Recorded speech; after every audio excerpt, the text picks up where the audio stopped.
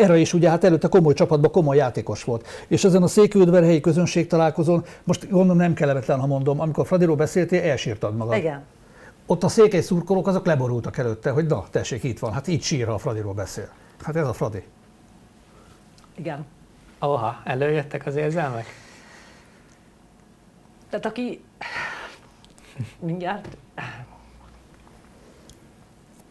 mindjárt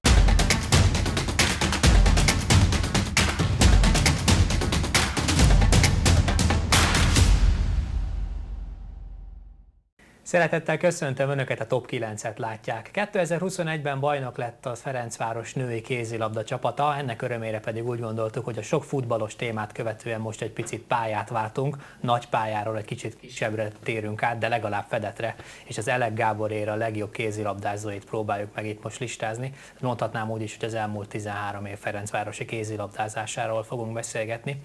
Az imént a kispálya, nagypálya hasonlatot használtam, de a vendégeink azok továbbra is nagypályások. Itt van velünk Kirchner Erika, az MKS alelnöke, a Fradi és a válogatott egykori kiválósága. Szia Erika! Szia, üdvözlöm a nézőket! Mellette pedig Ballai Attila, szakújságíró. Hello Attila, köszönöm, hogy itt vagy. Szevasz, köszönöm, én is örömmel jöttem.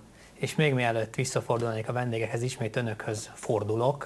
Játszanak velünk és írják meg kommentbe, hogy önök szerint ki lesz a kilenc játékos, akiről majd itt beszélgetni fogunk. Ki volt tehát az Elek Gáborér a kilenc legjobb kézilabdázója? Nyugodtan kommentben, Facebookon vagy a YouTube ebben a szekciójában, ezen szekciójában írják meg nekünk a neveket, én most pedig visszafordulok, és akkor Attilával kezdenék, hogy picit beszélgessünk néhány mondatot az Elek Gábor éráról. Ugye ez a ez a műsorunk címe, vagy ez ennek a témának a címe, hogy elek korszak. Nyilván a 13 év miatt jogosan mondhatjuk, hogy egy korszakról beszélünk, de hogyha megvizsgáljuk a Ferencváros kézilabda történetét, akkor ezt nevezhetjük sikerkorszaknak is?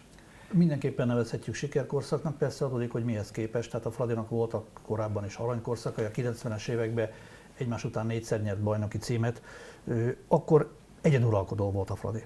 Persze akkor hol volt a győr? Vanyus Attila volt a Győr elnöke, meg a Győri állatkert igazgatója, és annyira nem volt pénz a klubnak, hogy amikor elmentek a Jászberi állatkertbe, kormoránt szállítottak, ott igazoltak egy balszélsőt, majd hazafelé szállítottak egy barna medvét, mert így tudták ezt megcsinálni. De most ehhez képest, amikor belépett az Audi, egy minőségében új helyzet teremtődött nem hogy Győrben, hanem a magyar kézilabdában, ami gyökeresen felborította az erőviszonyokat. Ugyanakkor ettől függetlenül, de ezzel párhuzamosan megrecsent a Fradi, és szinte lét és nem lét határára sodródott. Ehhez képest egy óriási sikerkorszak. Egyrészt, hogy sikerült két keket nyerni, másrészt az, hogy a Győr egyeduralmát is sikerült megtörni kétszer bajnoki címmel, kupagyőzelemmel, és még ott van az a három évvel ezelőtti majdnem bajnoki cím, amikor egy gólon múlott. Tehát igenis sikerkorszak. Hát nem is oda, hogy Erika azt írtad az e-mailben, amikor ugye küldted vissza nekem a saját top listárat, hogy nagyon nehéz volt választani, és még tudnád sorolni a neveket. Mik alapján állítottad fel a listárat, milyen érvek voltak a fejedben? Hát próbáltam nem elfogult lenni nagyon, hogy azokkal a játékosokkal voltam elfogult, akivel még annó én is játszottam együtt, illetve akik úgymond a mondom, a kezeim alól kerültek ki, mondjuk, mint Váci elnök, illetve a teljesítményt, egyetem a teljesítményt próbáltam értékelni, és így alakult ki nálam az én 9-es listám. Mint mindig, úgy most is a végső top 9-es lista a két szakértő véleménye mellett a nézői szavazatok által is összeállt, így tehát vannak olyan kimaradók, akiket ugyan ti jelöltetek, de végül a végső top 9-ben nem került fel. Attila nálad például Lukács Viktória volt az, akit jelöltél, a végül azonban nem került fel. Miért gondoltál rá a listán? Megfordítom a kérdést, azon csodálkozom, hogy hogy nem került be. Egyrészt kicsi korától kezdve Fradi játékos volt, a, a kisugárzását, a habitusát tekintve igazi fradistának tartottam, másrészt pedig olyan szélsőnek, aki nagyon, racionálisan vállalkozik. Amikor kell, akkor bemegy, amikor nem kell, akkor nem megy be, meccs rajta nem megy el. Színes lövő repertoárja volt, vagányjátékos volt, most eligazol a Fraditól, Szerintem a szurkolók lélektanában ez is, illetve eligazolt a Fradiból, most a szurkolók lélektanában szerintem ez is szerepet játszik, ők mindig a jelenbe élnek, és mindig azt szeretik, aki itt marad vagy idejön, és az kevésbé, aki elmegy. Igen, így nézem közben a szurkolói listára, hogy oda, se került föl Vica, és oda se került föl Nadine, aki ugye nálad szintén szerepelt, mellette milyen érveket tudná felhozni? Hát az első, hogy balszélső, mint ahogy én is voltam, tehát emiatt... Igen, ugye, nézem is, hogy Erika ki lesz balszélső. Nem. nem. Tehát emiatt elfogult voltam eh, vele, mert, eh, mert balszélső volt, illetve valószínű azért nem kerülhetett fel, amit az Attila az előbb elmondott, hogy ugye eligazol eh, nyáron a, a Fraditól és épp a konkurens Győrben. Győrben megy, tehát ezt a szurkolót nagyon nehezen eh, bocsátják meg, és tudom, hogy könnyen felejtik el azt, amit, amit az elmúlt x évben itt a, a pályán nyújtott. A, szerintem a Nadinnak olyan bal keze van, vagy olyan jobb keze van, mint, mint szerintem azt is mondom, mint a világon senkinek. Tehát nullszögből is be tudja lőni, ha ő fejben ott van és koncentrált. Nincs az a szög, ahonnét ő ne vállalja be, és ne tudja belőni minimum 95%-os pontossággal.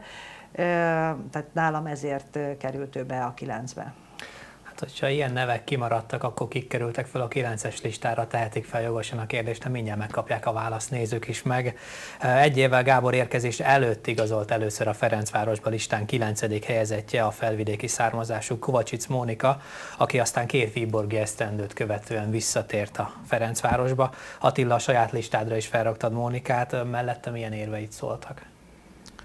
Mónika korszakos játékosa volt a Fradinak, és szerintem, hogyha készítenénk egy olyan listát, hogy ki honnan indult és hova jutott el, akkor a legnagyobb ívet ő futotta be. Mert amikor Magyarországra szerződött Békés Csabára, és én megismertem, hát fogalmazunk úgy, hogy más súlycsoportban volt minden tekintetben, a fizikálisan és meg képességét tekintve, és soha nem hittem volna, hogy a Fradinak és a magyar válogatottnak meghatározó játékosa lesz, de az lett.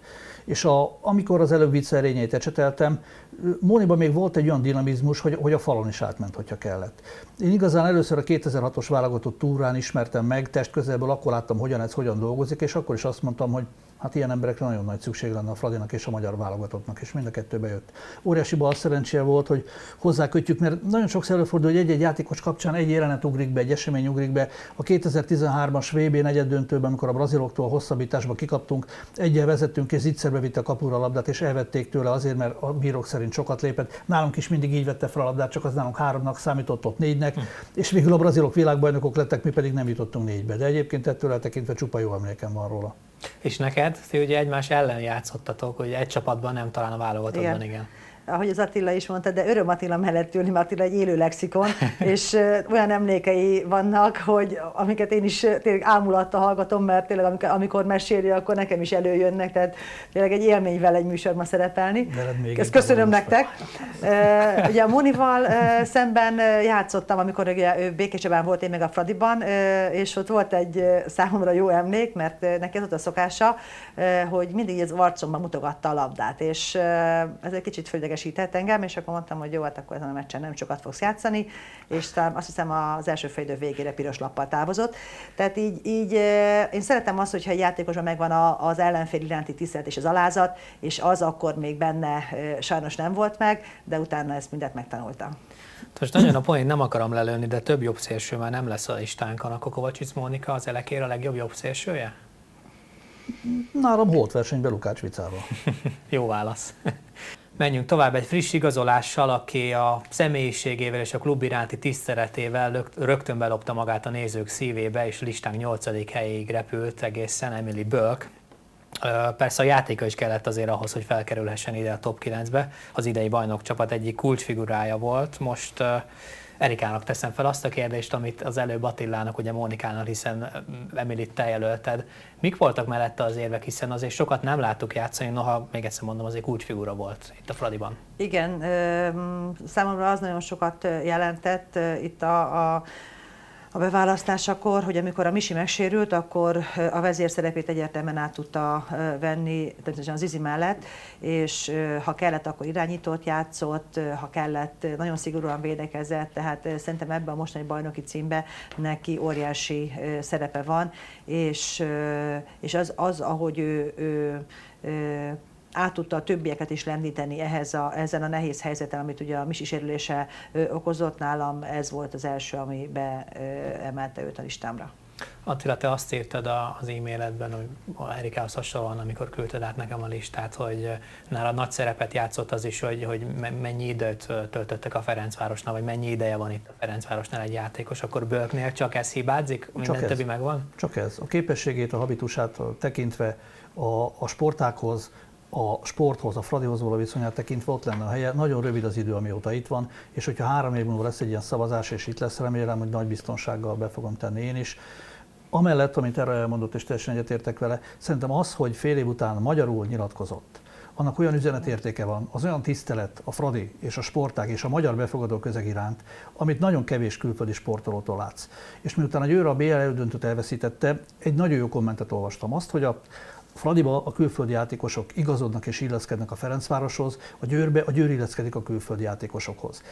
Egy ilyen bőt nyilatkozat az tökéletesen megfelel ennek a véleménynek. Uh, Erika 23 éves játékosról beszélünk, nagyon fiatal, nyilván sokat fog még fejlődni, és felvetődött már a kérdés, hogy itt lesz-e három év múlva a Fradiba. Szerinted meddig lehet őt itt tartani?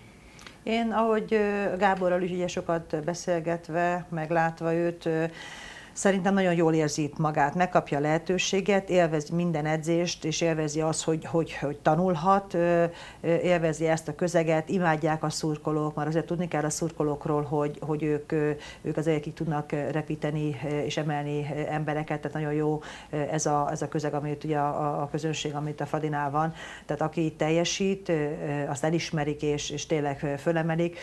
Emily az egyik ilyen játékos szerintem, és ha ő ezt mind fogja kapni, sokáig itt tud maradni. Mint egy tíz esztendőt töltött a Ferencvárosnál listánk első beállója, majd meglátjuk, hogy lesz-e még több itt a top 9-ben, de a hetedik helyre Szamonánszki Piroska került. Kétszer lett bajnok a Fradival, és a két kek sikerből is kivette a részét. Mindkét szakértőnk listájára felkerült, úgyhogy Hát kezdjük az Erikával. Tehát csapatkapitány voltál, hogyha jól tudom, amikor megérkezett Piri a Fradihoz. Mik az Igen. első emlékeid vele kapcsolatban? Hát Piri és Kék megérkeztek. A piros volt ugye a piros, a kék viszont a testvére ugye az Anikó, és ugye ikrek voltak, tehát először, amikor néztük, úristen, hogy fogjuk őket megkülönböztetni a, a pályán, a, csak jó dolgokat tudok elmondani a Pirosról, egy nagyon-nagyon jó ember, imádott nálunk játszani, ugye amikor még én is ugye a Fradiban játszottam, minden meghallgatott, nagyon gyorsan tanult, ugye akkor még az Ukrakova is a Fradiban volt, és jól kiegészítették egymást, mindent lelesett a Lulutól, hogy, hogy akár, akár a velem való párban lévő munkából sok mindent átvett. Én nagyon szerettem vele játszani, ő egy nagyon jó ember, tehát az a, az a tipikus, ha egy pici csibészség vagy gonoszság, nem gonoszság az nem, hanem kicsi csibészség lett volna benne, szerintem még többre vitte volna, mert tényleg a Piri nagyon jó ember. Szerinted is ezt hiányzott belőle? Hogyha hiányzott valami, mert hát azért több mint egy évtizedig a csúcson volt beállóként. Én inkább azt mondanám, hogy ha szerintem van egy tanulható poszt a kézilabdában, az a beálló poszt. Hmm. Mert nem lehet megtanulni magasnak lenni, nem lehet megtanulni erősen lőni, és nem lehet megtanulni gyorsnak lenni. De a beálló posztban szinte mindent meg lehet tanulni, és ahogy erre mondja, Piri mindent megtanult. Amikor én őt megismertem, akkor még a tesójával együtt Győrbe volt egy kulcspozícióba, ők voltak a pályatörlők a felnőtt meccsen, ültek a zsámolyon és mentek be feltörölni a pályát. Na most a Piri aztán utána tényleg egy rossz szó magával meg az ellenfél is feltörölte a pályát, hogyha kellett a Fradiba. Még ennyit a családot hadd fényezzem, hogy a, annak idén a feleségemnek volt utánpótlás játékos a válogatott szinten, és ő mondta német Andrásnak, hogy ezt a lányt hozd ide, mert ebbe óriási nagy potenciál van, és nagyon nagy küzdő, és tökéletesen bejött. Igen, ezt én is felírtam magamnak, hogy igazán először a Fradinál kapott esélyt az NB1-ben, és a második szezonját Tomás szórta és a gólokat rendre száz körül termelte, tényleg a kulcsjátékosa volt ennek a korszaknak. Igen, az András, a német András volt azt szerintem az egyik olyan edző, aki, aki az ilyen úgymond akkori no játékosokból tudott kinevelni, és a listán még lesz olyan hm. játékos, aki először az ő nevéhez kapcsolódik.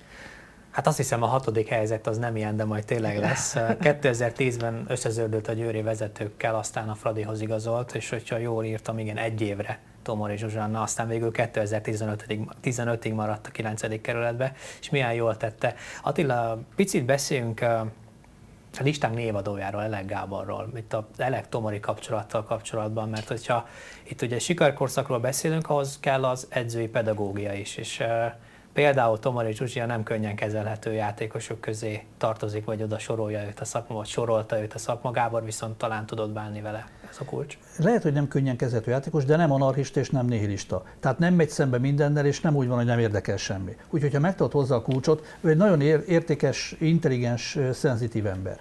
Soha nem felejtem el, hogy 2010 tavaszán egy válogatott meccs kapcsán Békés Csabán voltunk, ő is én is, a parkolóba találkoztunk a meccs után, és akkor már lehetett tudni, hogy eljön Győrből, és akkor mondta, hogy hát most még nem tudom, hova menjek, és én mondtam neki, hogy ha azt akarod, hogy igazán szeressenek valahogy erre a Fradiba.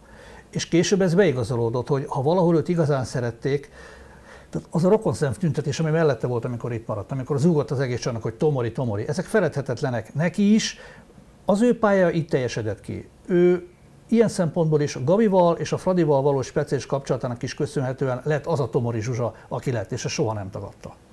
Hogy látod az eligazolását? Ugye végül azt mondta, hogy, hogy, hogy bajnokok ligáját szeretne nyerni, nyilván ez egy érthető érv, és emiatt elment a BL-ben. Ez jót tette a karrierjének végül a BL, ugye összejött?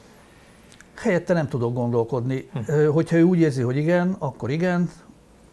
A összességében azt mondom, hogy ha Zsuzsi itt maradt volna, és itt fejezte volna, itt fejezte volna a pályafutását, olyan Fradi legenda lett volna, amilyen, amilyen egyik klubnál se lehet, hiszen, hiszen azért több klubot megjárt azóta. Hogyha neki ehhez képest az volt a legfontosabb, hogy nyerjen b akkor jó döntött Isten ágya. Azt hiszem, hogy az egyik szerződés hosszabbításánál a sajtótájékoztató mondta el, talán Jenei Zsolt Ákos, hogy, hogy a Zsuzsa itt a Fradinál hát gyakorlatilag világsztárán nőtte ki magát. Nem tudom, hogy te ezzel egyetértesz és hogy valóban itt a Fradinál találta-e meg magát, Zsuzsa? Az biztos, hogy a Fadinál nagyon megtalálta magát. Neki jó volt az, amikor ugye eljött a Győrből, és itt úgy kezelték őt, ahogy ő ezt szerette. Ugye Gáborra való kapcsolat már a Attila említette, hogy, hogy ez úgymond legendás, mert szerintem egyik edző sem tudta őt úgy kezelni, ahogy a, a Gábor, és ő ki tudta belőle azt hozni, ami igazán benne volt. Én úgy gondolom, hogy ahogy az Attila is elmondta, hogy ha, ha maradt volna még a Fradiban, akkor tényleg ő egy, egy, egy emblematikus figurája tudott volna lenni a, a Fradinak. Ugye nem így döntött, azt, hogy most megbánta vagy nem bánta meg a döntését, és mi, mi igazolja, hogy jó vagy rossz, ezt csak ő tudhatja, de ugye az élistámon is rajta volt, és szerintem ő is egy, ennek az, az elekérának egy nagyon meghatározó kulcsfigurája volt. Szintén mindkettőtök, sőt a szurkolói listán is nyilván rajta volt listán kötödik helyezettje, aki Szőlősi Zácsik Szandra lett. Ő 2006-ban 16 esztendősen került a Fradi az egészen, egészen fiatalon, és kis megszakítással 2017-ig volt itt a klubnál. Még annál is fiatalabban, 15 évesen mutatkozott be az NB1-ben Vácott Erika. Nem tudom, hogy van-e bármilyen emléked róla, rögtön látszott az, hogy ilyen tehetséges játékos lesz? A Szani akkor ugye balszélként, balszélső volt, amikor a, a, a Fradiban, vagy amikor a Vácon játszott, utána került ugye a, a Fradiba. Hát ugye a Fradiban játszottam vele együtt, ugye amikor a, a Tóth Timi sérülése barodott, akkor ugye ő volt mellettem nagyon fiatalon még a balátlövő. Hát ott még voltak vele apró pici problémák, hát őt még a, a, a fiatalság és az alázat nem mindig párosult, tehát néha azt el kellett mondanom, hogy fia, a gurulai labda rávetődünk, fejebe állunk a parkettába, tehát nem csak így nézzük, és a kicsit öregebb nálad az meg majd rávetődik, hanem, hanem ugye együtt kell élni teljes mértékben a játékkal. És a Szalinál nem felejtem el, hogy kémiából korepetáltam, mert ugye a, a, a suliba is járt ugye még akkor, illetve kellett volna neki járni, de ugye edzésekre járt főként, és ugye próbáltuk neki segíteni. Én kémiából próbáltam őt korepetálni, és a 6 10 a 23-on atomszámot gyakoroltuk nagyon sokszor.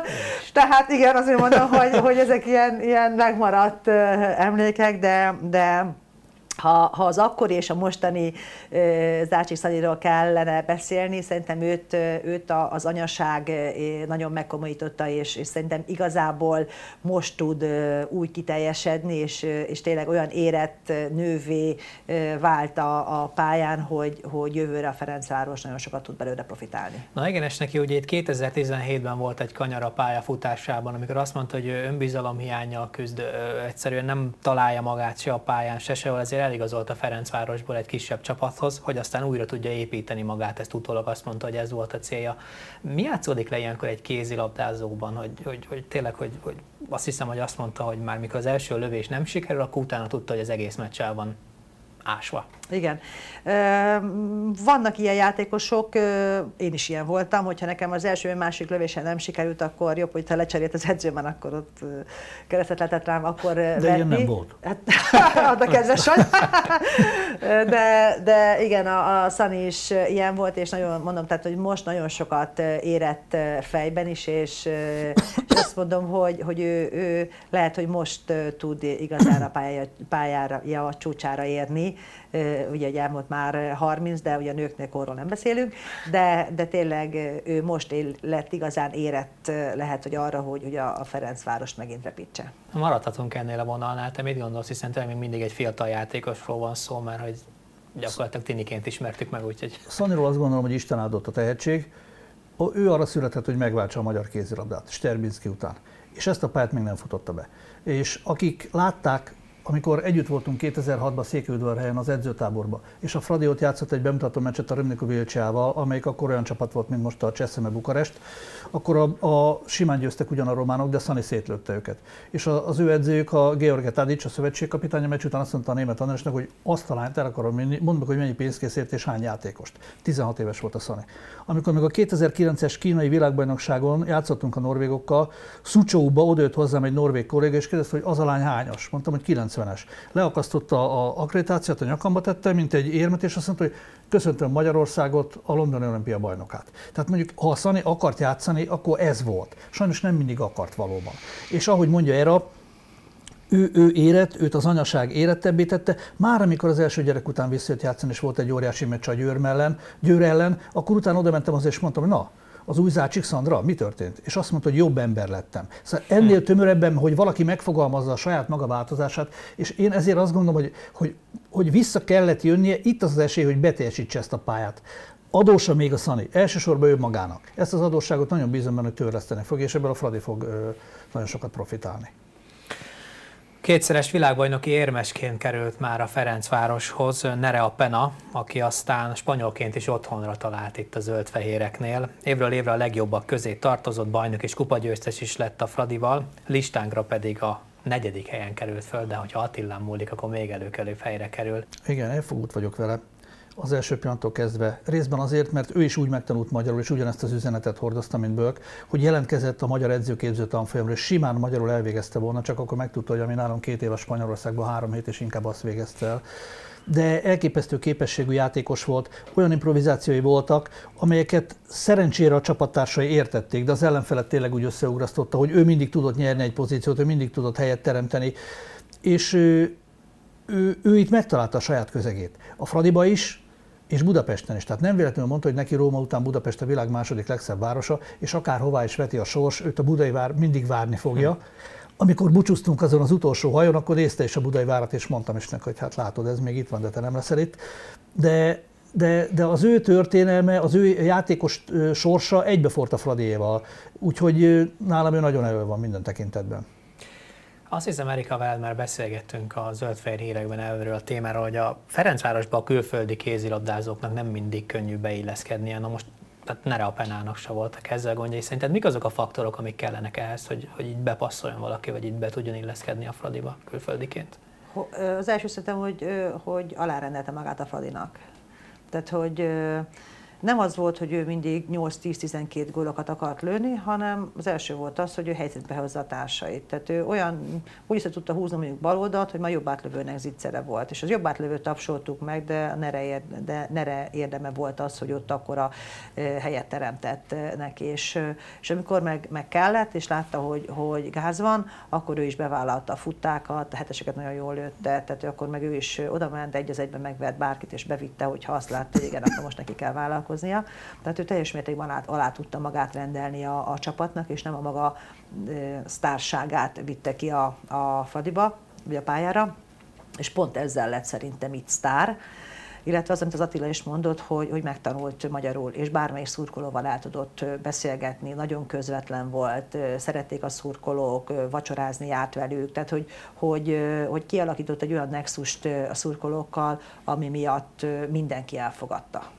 Ő ugye egy súlyos tércalak szakadás után vagy hát rehabilitációja során igazolt a Ferencvároshoz. Nem volt ez egy kockázatos igazolás? Óriási kockázat volt benne, és a Fradi számára az utolsó pillanatban derült ki. Emlékszem a szituációra, évnyitó sajtótájékoztató, nere bemutatása, és a bemutatás előtt másfél órával mondták az orvosok, hogy nem biztos, hogy le kéne igazolni, mert nem jó a térde. Leültünk, én, mint aki moderátora voltam a sajtótájékoztatónak, a Fradi vezetők, Nere és Nerének a menedzsere, és nagyon korrekten azt, mondtuk, azt mondták ők, hogy jó, most már ha lehet, akkor írjuk alá, de most így írjunk egy másik olyan papírt is, hogyha kiderül, hogy rosszat ér, de akkor semmit nem kérnek, és el fog menni azonnal, és így sikerült bejelenteni, és így maradt a Fradinál, és ugyan később megsérült a térde, de hála Isten, ö, itt a kockázat nem jött be szerencsére. Akkor ez egy korrekt lépés volt tőle. Abszolút. hát úgy indult a karrierje, hogy majd talán a győriek hasonló listájára is felkerül, Kovácsics Anikóról van szó, de aztán végül ide a Fradihoz került, és 8-szoros bajnokként 25 évesen igazolt ugye a klubhoz, hogy több lehetőséget kapjon, és most a dobogónk legalsó fokára került fel az elekére a legjobb játékosai közé. Nem érdemtelenül, azért kell lett volna eltékozolni a tehetségét a szélen, nem? Igen. Én úgy gondolom, hogy ugye Kovacsics Nikoron Misiről van szó, én úgy gondolom, hogy, a, hogy Misi itt kapta meg a Fradiban azt a lehetőséget, amit már ugye Győrben meg kellett volna, de akkor Győrben előtte volt még egy Görbe, aki mögött nem igazán tudott kiteljesedni. És, és ugye a, a itt viszont megkapta Gábortól azt a lehetőséget, amire ő mindig is vágyott, és tudott is élni vele. Mert ugye vannak olyan játékosok, akikről azt mondjuk, hogy ő lehetne majd a következő valaki, és elmegy XY helyre, és nem tud élni a lehetőséggel, mert, mert az valahogy benne marad, de a Misi nem az. Tehát, hogy, hogy ő az, aki ami benne volt, az ki is tudta hozni a pályára, és olyan vezére tudott lenni mind a magyar válogatottnak, mind a Ferencvárosnak, és bízom benne, hogy, hogy rendben a, a válla, és még, még sokáig tud itt is, ott is nagyon jól szerepelni. Maradhatunk ennél a vezérkult szónál, ezt írtam fel hozzád kérdésnek Attila, hogy egy idő után, amikor ugye az Izi elment szülési szabadságra, átvette a kapitányi karszalagot, meg a vezér szerepét is Kovacsics Anikó, szerinted megállta a helyét? Szerintem meg, és ebben semmi meglepő nincs, mert szerintem ő erre rendeltetett, mindig erre készült, mindig erre várt. Ezért jött egy őrből.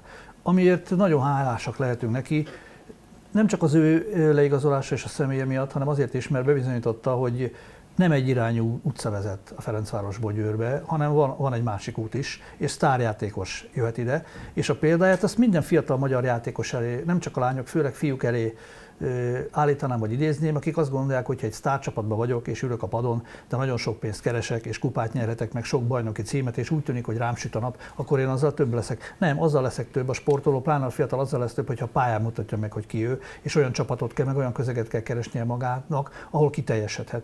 Mert aztán, hogyha majd a nagypapaként vagy nagymamaként visszaemlékszik a pályafutására, akkor nem arról fog mesélni az unokáknak, te olyan klasszakat ültem a padon és pörgött a bankszámlám, hanem azon, hogy mit mutattam a pályán. Ezért hozott ő nagyon jó döntést döntést.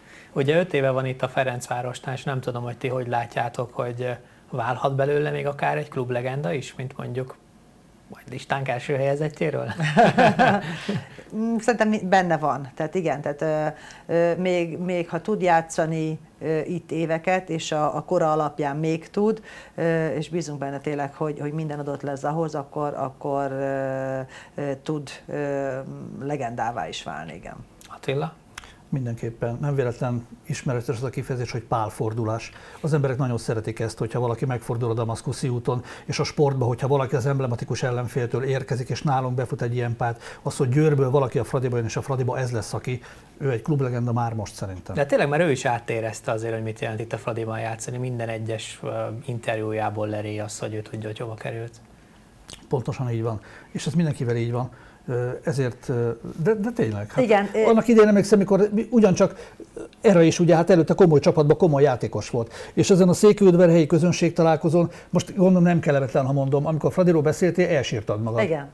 Ott a székely szurkolók azok leborultak előtte, hogy na, tessék, itt van, hát így sír, ha a Fradiról beszél. Hát ez a Fradi.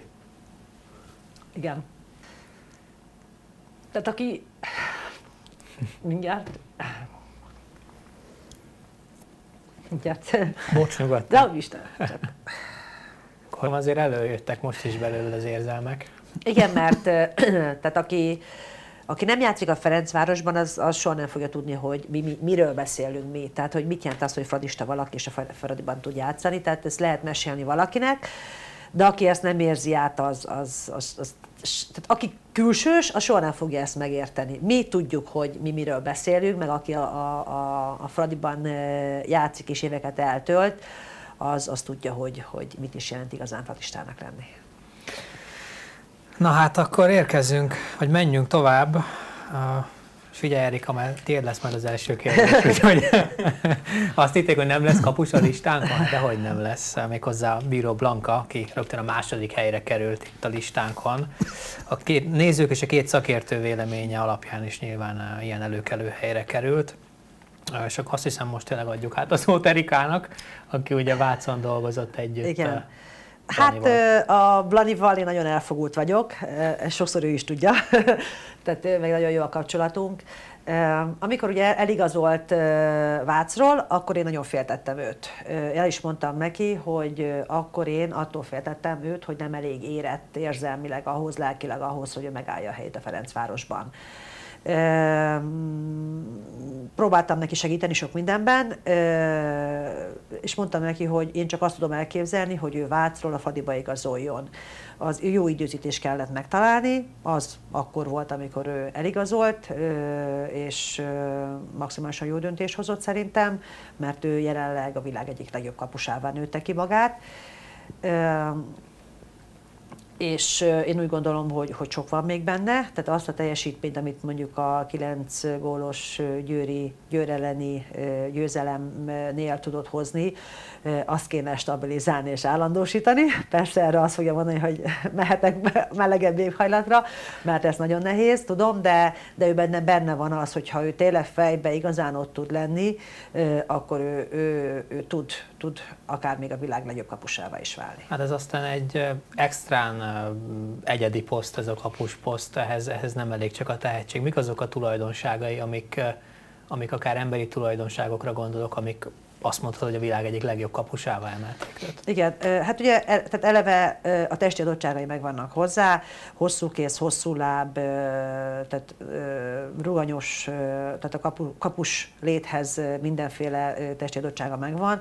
Emellett megvan benne az alázat, amit számomra a leg, egyik legfontosabb sportolói tulajdonságnak kell lenni, szeret dolgozni, tehát ő, ő pluszba is rengeteget dolgozik ahhoz, hogy ő olyan állapotba kerüljön meccsekre, edzésekre, ahogy elvárják tőle, meg ahogy ő elvárja magától, maximalista, ami, tehát neki egy hiba is nem fér bele. Tehát, hogy ő, ő mindig szeretne hibátlanul, és ha, ha csak egy hetes fog, akkor miért nem kettőt, ha kettőt, akkor miért nem hármat.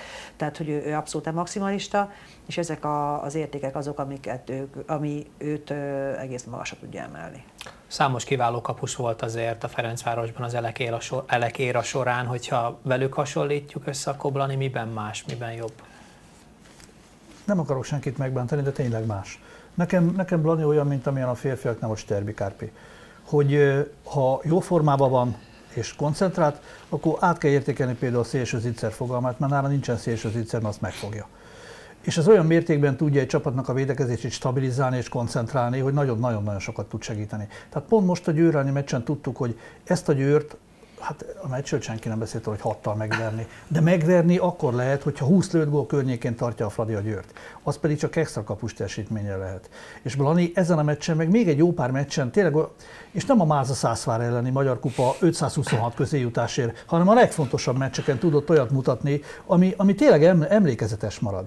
Nem utolsó sorban, mondod erre, hogy nehezen engedted el, én meg emlékszem rá, hogy 2015-ben Dániában a világbajnokságon amikor ugye hát ott két hétig együtt voltunk folyamatosan, akkor láttam, mondom, ennek a lánynak a Fradiból lenne a helye. Úgy nem csak azt tudtam, hogy milyen kapus, de a habitusát egy, minden tekintve, és egyszer egy vacsoránál odajött hozzám, és azt mondja, hogy nem tudod, hogy áll a Fradi Paks futballmeccs éppen akkor volt. Ránézek, mondom, mit te Paks drukker vagy?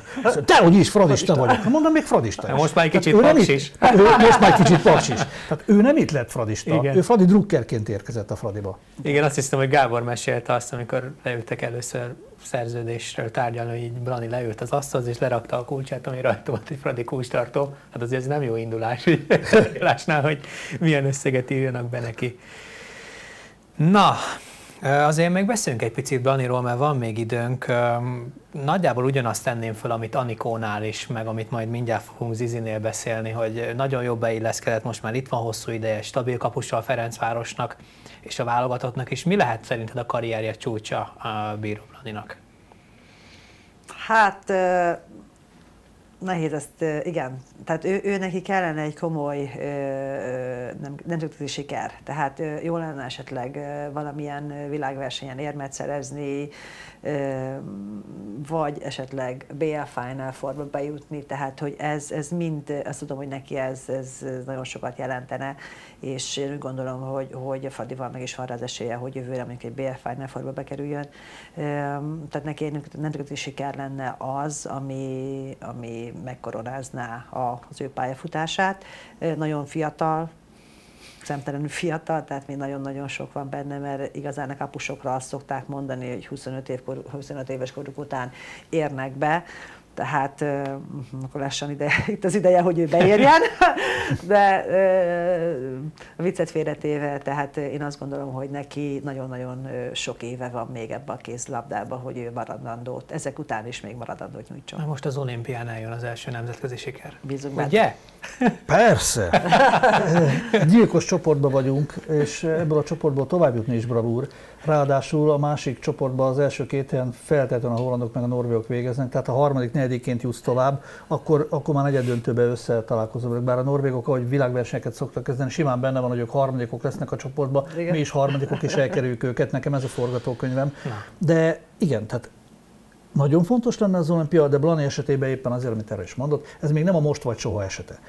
Sikerüljön, Isten adja. De aztán tényleg ott a Fradi, ott a Final Four, ezzel a csapattal jövőre nincs olyan magasság, amit el lehetne érni, és abban is bízom, hogy azért utánpótlás szinten junior világbajnokok vagyunk, ifi világbajnok ezüstérmesek vagyunk, Európa bajnokok vagyunk, a közelmúltban volt Németországban egy utánpótlás konferencia, és a következő fel, női kézilabda szinten, a következő felirat jelent meg a falon. Magyarország az egyetlen, ami számít. Na most, ha ilyen jónak látnak minket, akkor, akkor ennek meg kell mutatkozni eredményekbe itthon is. És hogyha Blani megvárja, meg ez a generáció beérik, mert akár a Háfranoniról, akár a Kluiber Katriról, akár a Márton Grétiről beszélünk, ilyen lineáris fejlődés nincsen, mert a körülbelül mindenki világklasszis lenne. Ilyen fűrészfogas fejlődés van, és ha nagyot ugrasz, persze, hogy kicsit visszalépsz, de hogyha ők mennek tovább, és lesz egy igazán jó erős magyar csapatunk, annak még Blani lesz a támasza az oszlopa.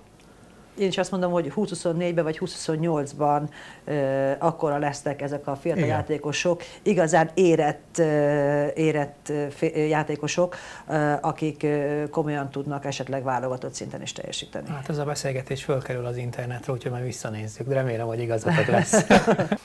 2005-ben tinédzserként igazolt a Ferencvároshoz, aztán a klub ikonjává vált listánk győztese, Szucsánszki Zita. Ő az egyetlen olyan játékos, aki az elekéra összes sikerét átélhette. Ugye a férjével szerzett két aranyérme mellett van még egy a német Andrással is, kétszeres keggyőztes, EHF kupa győztes, Magyar kupa győztes. A jelenlegi csapatkapitány Attila nem volt sok kérdés, hogy ki győzzön? Nekem nem volt kérdés.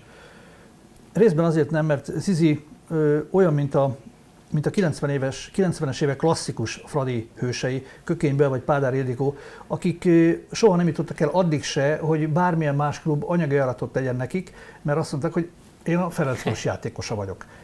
Az Izi is így éli meg, tehát a, ő azt mondta, hogy ő innen fog majd egyszer nyugdíjba menni. Másrészt pedig ennyi poén talán belefér, hogy amikor Debrecenben nyert a Fradi, utána a meccs után 5 perce fejlott Laurenc Laci bácsi, ugye a remek szövetségkapitány, és azt mondja, hogy na, mi a sikeredző titka? Mondom, mi? Azt mondja, a jó házasság.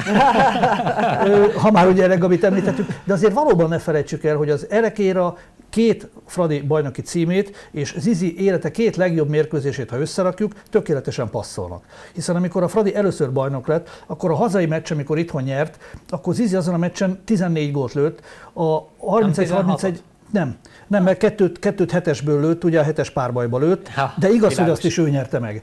A, a döntetlent azt azzal ért el a Fradi, hogy az utolsó másodpercben Zizi hanyattesve lőtt egy pipagolt, aminek semmi előzménye nem volt.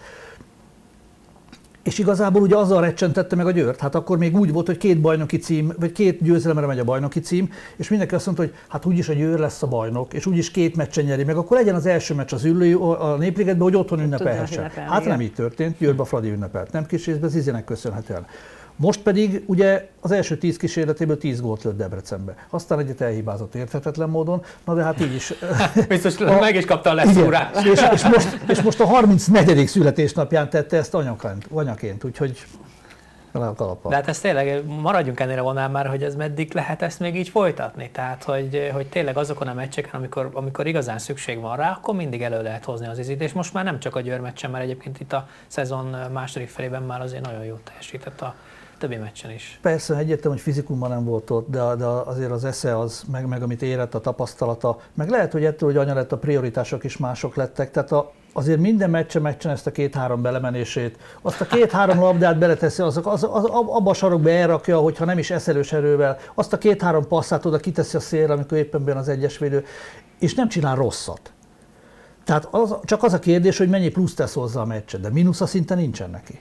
Egy nagyon súlyos döntéseket kellett meghozni az izének, ugye itt a családalapítást folyamatosan tologatták tovább-tovább. 2017-ben mondta nekem egy interjúban, hogy egyszerűen nem akartam cserben hagyni a csapatot. Hát ez az, ami, ez az, ami a fradizmus, amiről előbb már beszéltünk. Igen. Ugye amikor az Izi a Fadiba került, az egy érdekes sztori volt, a Sparival játszottunk mi egy meccset, és az András meccs után mondja nekem, fia, le fogom igazolni ezt a lányt. Hát azt mondja, ott ült a padon végig. Mondom, melyik? Tudod, tehát fogalmunk nem volt róla, hogy ki ez a Szucsánszki Zita. Hát tudod, ott bejött, azt mondja, egy, egy húsz magasat ugrott. Ja, mondom, azt és akkor tudod, tehát, hogy, hogy semmi alapja nem volt annak, tehát nem lőtt nekünk 82 gólt, semmit nem csinált, de az András meglátta az benne, hogy olyan emelkedése volt már akkor az izinek, és olyan sokat ki tudott várni a levegőben, hogy úgy mondta az András, hogy ő tud belőle valamit majd kihozni. És de oda jött ugye hozzánk a, a, a Fradiba, és első évben úgymond az volt a szerencséje, hogy ott a, az akkori irányítónk a Kamper Olcsa lett volna, de ugye ő ilyen-olyan junior, meg nem tudom milyen válogatottakkal volt egész nyáron, és a, az Izzi úgy be tudott azon a nyáron illeszkedni, úgymond közénk, hogy ő lett a Fadi első számú irányítója. És nagyon gyorsan megkapta ezt a, a lehetőséget, és, és ugye, ugye őt még akkor senki nem ismerte, és ezzel a, a nyeretlennek, nyeretlen két éves, szokták ugye így mondani, akkora sikert hozott már ott ugye nekünk, hogy, hogy ugye volt négy-öt rutinos játékos mellette, őt meg az hagyjat, hagy lőjön, és mindig belőtte. és ugye nagyon gyors volt, tényleg nagyon jó voltak a rugói, és, és ugye így indult el akkor, ugye közösen indult ott ugye, úgymond az ő pályája az enyémmel, az enyém kicsit korábban, de, de ugye ott közösen kezdtünk el játszani, játszani, és tényleg csak jó emlékeim vannak az Iziről, mert ő tényleg mindig dolgozott, soha nem csalt edzéseken, tudta, hogy mi az, hogy ha, ha a labdát neki kellett vinni, vagy bármi, tehát ő benne is megvan az a, hát most már meg főleg az a fradizmus, amire én annó akkor, amikor beszéltünk, gondoltam. Kémia korrepetációt kapott? Nem. neki nem kellett. A nézők, meg most már mi is látjuk a végső sorrendet, nagyon jó kis kezdőhetest lehetne felállítani, elég támadó szellemű lenne mondjuk, de hát ez lett a listánk az Elek Gáborér a legjobbjairól. Én nagyon szépen köszönöm, hogy itt voltatok, és hogy segítettetek összeállítani ezt a csodás listát. Várunk majd visszatiteket. Erika, te lehet a következő kézis témán a listán lesz, úgyhogy téged majd nem hívlak, de majd Attilára számítok valamikor a következő évadban. Köszönöm szépen. Köszönjük szépen. Köszönjük szépen. Önöknek pedig köszönjük szépen a figyelmet. Kettő hét múlva lesz a következő Top 9 adásban, jövő héten pedig zöld-fehér hírekkel várjuk Önöket. Addig a Facebookon és a Youtube-on az összes eddigi műsorunkat vissza tudják nézni. Tegyék meg viszontlátásra.